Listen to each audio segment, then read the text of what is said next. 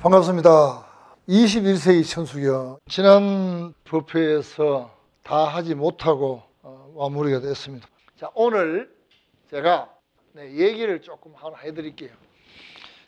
지금부터 한 40년 전 실질적으로 있었던 이야기입니다. 내가 그때 보살님 이름은 지금 까먹어 버렸어요. 너무 오래돼가지고. 서울 마장동에서 어떤 보살님이 학교 선생님 하는 보살님이 있었어요. 그 보살님 아주 나이가 어린 보살이었는데, 아, 이 보살이 결혼해가지고 임신해가 아, 놓을 때가 됐는데 남편이 갑자기 막 사망을 해버렸어요. 그 남편 없는 신자 혼자서 애를 낳은 거예요.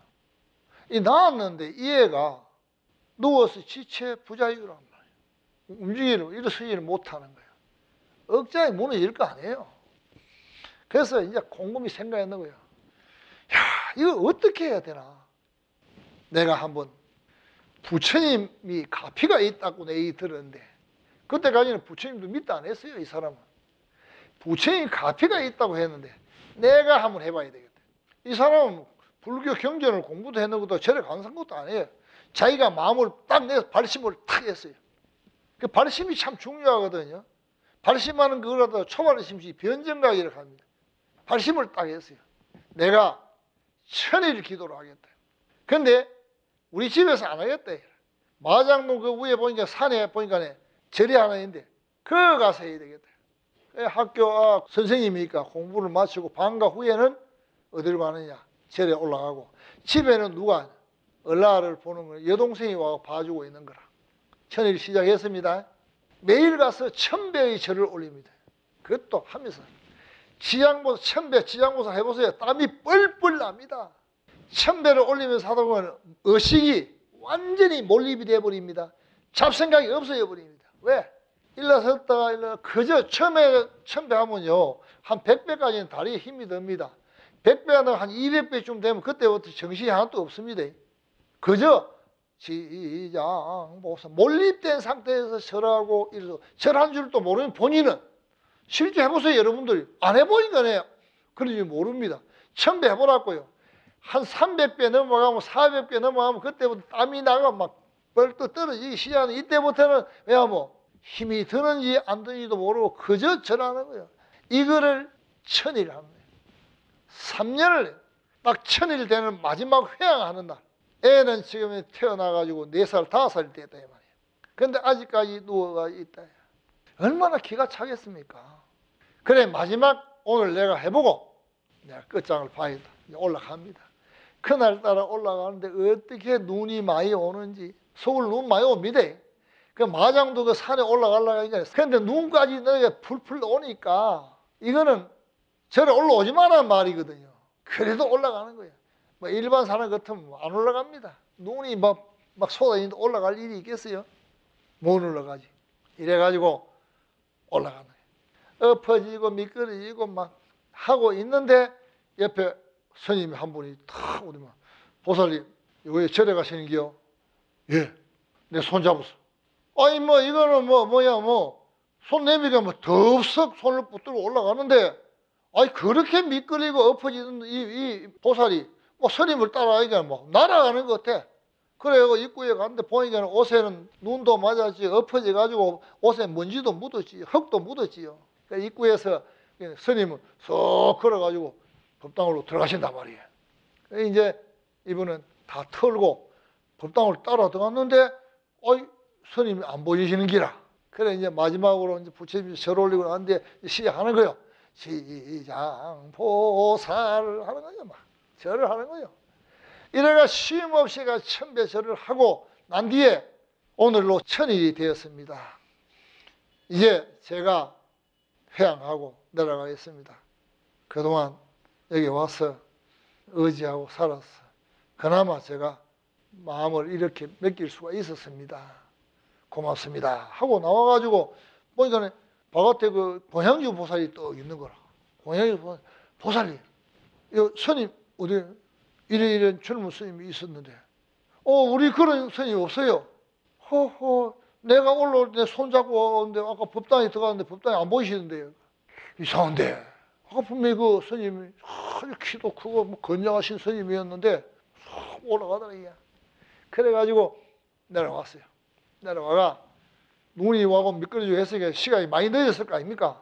그럼 그때 마장동에 그 내려와가 공전을. 또 내가 동생한테 늦었으니 미안하잖아요. 아이고 순호가 그 내가 오늘 눈이 와가지고 오늘 회양한다고 좀 늦었지. 그러니까 언니야 빨리 와 온나 이러거든. 와 갔나? 와 하니까 전화 끊어버렸어. 거기로 가 차를 타고 이제 갔네. 차 안에 가면서 생각할 거 아니요. 하, 이막 떠나는 모양이다. 그래, 막잘 갔다. 막 부처님이 니 데리고 간 것 같다. 이래 생각하고 간 거야. 가가 이제 문을 떡 열고 순호가 이러면서 문을 열고 턱 들어가기 전에 아가 뛰어나오면서 엄마 하고 뛰어나왔단 말이야.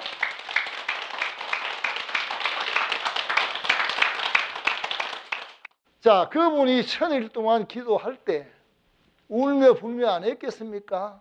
내가 왜 이러한 삶을 사나? 어? 울면서 불면서 절하면서 무릎이 닿달도록 절한 거야. 내 이 생에 와가지고 내 이 업장을 소멸해야 되지 않습니까? 부처님 업장을 소멸하고 저 누워 있는 저 자식을 이렇게 세워야 안 되겠습니까? 하고 갖다가 절을 하는 거예요. 한없이 한없이 절을 하는 거예요. 이걸 갖다가 3년 천일 동안 했다는 거예요. 그러면 이 사람이 마지막 해양할 때 올라가 넘어지면 엎어지고 다리 물파 깨지고 하면서 그래도 올라가니까 어디에 나타나는 사람이 누구예요? 그게 지장보살이단 말이에요. 그렇게 현신해요. 안 하는 게 아니라 진짜로 기도하면은 어 지장보살이 와서 쏙 데리고 올라가는 거예요. 그러니까 엎어질 일이 있겠나? 이래가지고 그분이 성취했는 거예요. 그분의 마음은 정심이었어요. 오직 하나.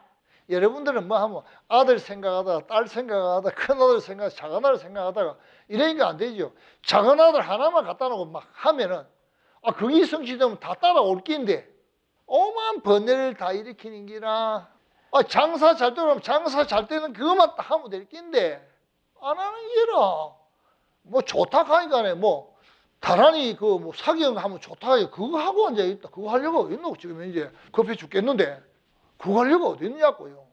그런데 그 공덕이 없는 건 아니라 있지만은 당장에 내가 지금 이제 뭐가 필요한가를 생각하고 모든 걸 다 내려놓고 진짜로 오직 그 마음 하나를 가지고 가는 것이 정심이라.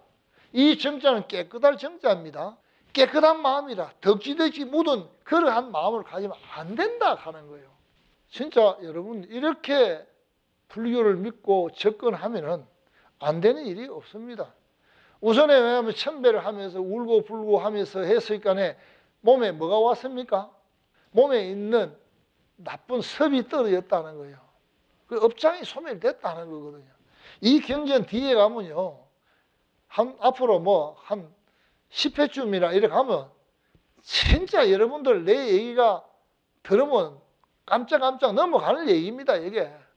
나는 직접 경험했는 얘기들이니까, 경험자가 제일 쉽게 얘기할 수 있고, 경험자가 제일 진실되게 접근되게 얘기할 수 있다는 거죠. 경험도 하는 분도 안 해봤는데 경전에 그렇게 돼 있더라. 그건 그렇더라. 이렇게 얘기하면 안 되는 거예요. 반드시 왜냐하면은 경전의 글만 보고 얘기하면 글뿌이 안 보입니다. 이거는 대성경전이라는 거는 왜냐하면 부처님이 이렇게 대화했는 게 아니라 전부 다 데리고 삼매 속에 들어가서 얘기를 했는 거예요. 지금 현재 법신보살들이 있는데 법신보살 눈에 보입니까? 여기 법신보살 꽉 와가 있는데 보이느냐고요? 안 보입니다. 그러나 이 보살들은 여러분들은 현신을 한다고요. 지금 조금 전에 말씀드린 그 보살님은 지양보살님이 현신해서 그 사람을 한번 손을 잡아줌으로 인해 가지고 그 아이가 누워있다 아침에 나올 때까지 누워있던 아가 뻘떡 일어나 집에 가서 그런 그게 바로 뭐냐 부처님 가피라 하는 거예요. 가피는 분명히 있는 거예요. 저는 그런 거 엄청나게 경험했습니다. 가피를 주기 전에는 한없는 시련을 준다는 걸 알아야 됩니다. 포사님 지난번에 그게 시련이에요, 시련. 아시겠습니까? 제가 시련을 얘기를 할게요. 제가 2000년도에 말이죠.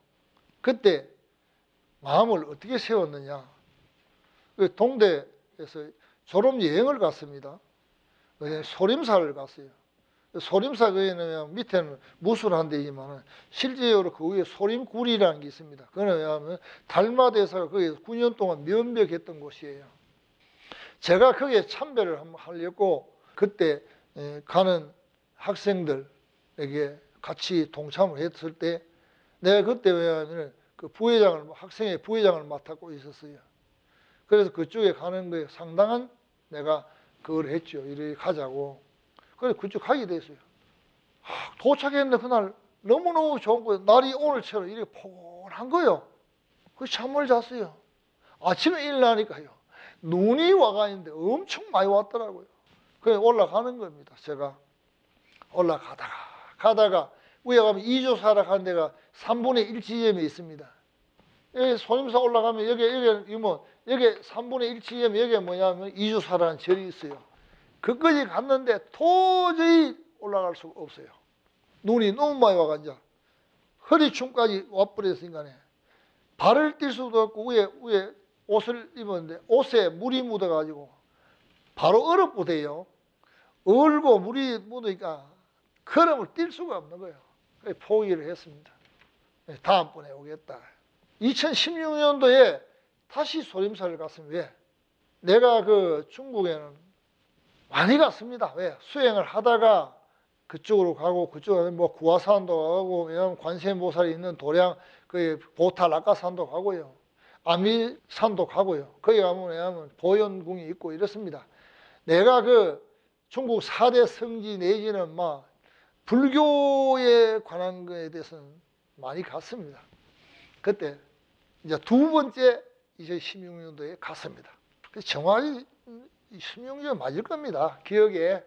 그날 오전에 그 위에 참배하고 전심 공양하고 올라가려고 하는데 비가 오는 거예요. 그래서 왜냐하면 그 신도님들은 소림사를 참배하시도록 해놓고 내하고 가이드하고 이게 우리 그때 처사님 한 분하고 또 애기보살 하나 하고 너희가 가기로 한 거예요. 그래서 나는 이제 발막 속에 옷을 딱 넣어가지고 갔어요. 비가 얼마나 많이 오느니 나는 그렇게 비만이 처음 봤습니다. 따로 오는데 갑자기 바닥에 있죠. 물이 막 이렇게 차가지고 줄줄 흘러 내려오는 거예요. 그래서 내가 속으로 야 오늘 또 이 내를 못 올라가도록 이 마장이 오는 거네. 내가 오늘 못 올라가면 이제 내 평생에 올라갈 수가 없다. 가야 된다.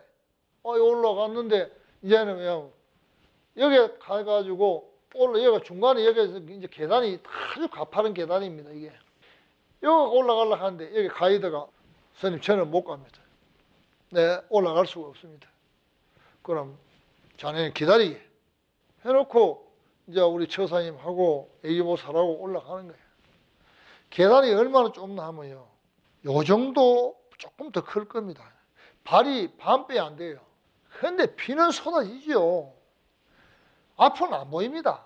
그냥 오로지 계단만 보고 올라가야 되는 거예요. 올라가야 그것도 바로 이래 못 올라가는 거예요. 미끌리기 뭐. 그냥 옆에 이제 옆걸음, 개걸음으로 가는 거예요. 한 발 뛰고 한 발 뛰고 한발 뛰고 올라가요.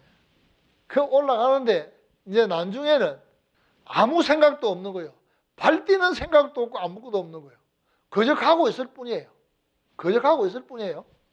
여기서 여기 딱 이게 3분의 2 시점에 도착을 타게 이게 마지막에 올라가는 이거 이거는 이거는 완만에 올라가면 계단이 이런 계단 올라 이거 딱 도착에 서니까 그게 글이 딱 보이는데요.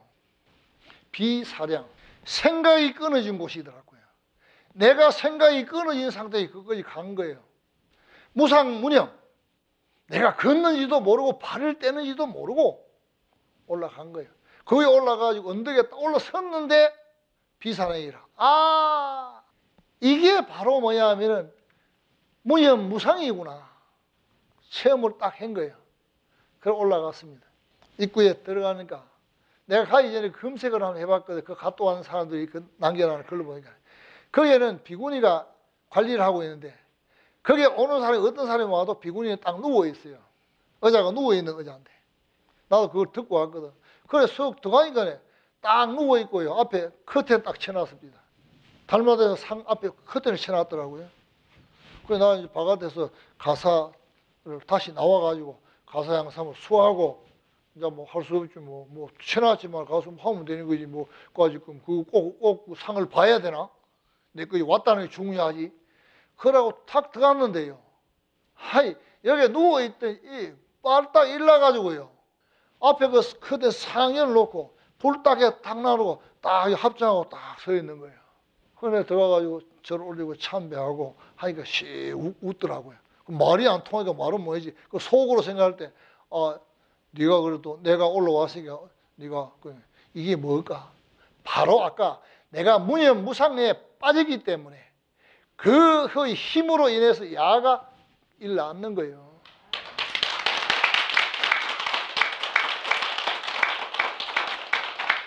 그래서 이제 내려오는데 비가 딱 그쳐버렸어요.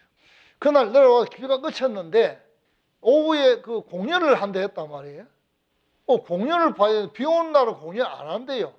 또 왜냐하면 100명 이상이 돼야 공연을 한대요. 산에 전부 다 공연장이 되어 있는데 그래 내가 아이 봐라. 오늘 공연할 수 있다. 가자. 아이 다른 데가 밥 먹지. 안 돼. 가자. 그 갔단 말이에요. 그 밥 먹고 탁 올라가니까요. 우리 말고 다른 사람들이 한 20명 있었어요. 그런데 공연을 하더라고요. 어, 구경했죠 그것도 부처님 가피라요 그게. 구경 잘하고 왔는 거예요. 여러분 기도를 하면은 마장이 따라옵니다. 그 마장을 이겨내는 게 뭐 내 업을 소멸하는 거예요. 아시겠지요? 감사합니다.